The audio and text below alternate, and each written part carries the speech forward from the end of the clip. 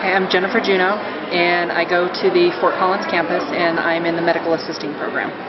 I have raised four children and homeschooled four children. And when I was finishing that, when they've all finished high school, I figured it was finally my time to be able to go and do a career that I've been waiting about 25 years to do.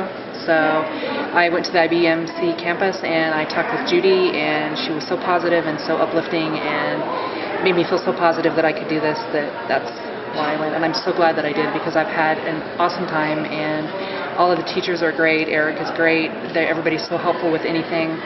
I was impacted greatly by the floods. And Eric was still very helpful with me for that. And he encouraged me to keep coming and he helped me get my program, my, my classes complete. Even though I had to miss a week, he helped me be able to complete the classes that I was in at the time and just encouraged me to keep coming and to not give up.